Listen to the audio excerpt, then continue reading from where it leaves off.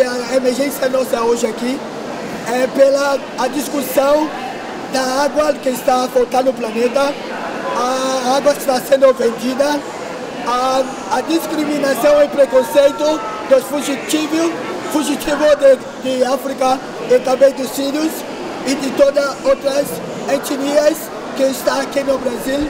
Por, ah, nós não somos ah, bandidos, nós fugitivos, nós não somos pessoas ruins que estão vindo de lá por causa de fase de guerra.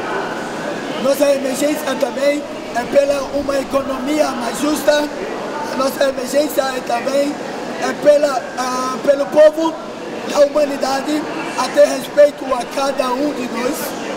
E nosso respeito, nossa emergência é pela intolerância religiosa, pela a discriminação e, e o machismo.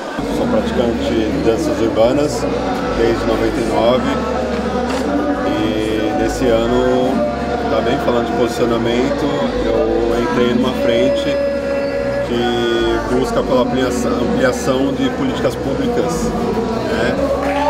a princípio no âmbito da dança, né? a gente falando muito de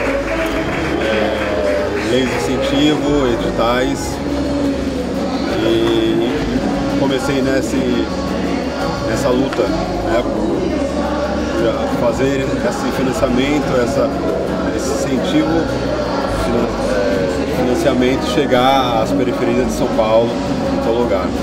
Então acho que é, estar aqui é como se fosse uma aula para mim.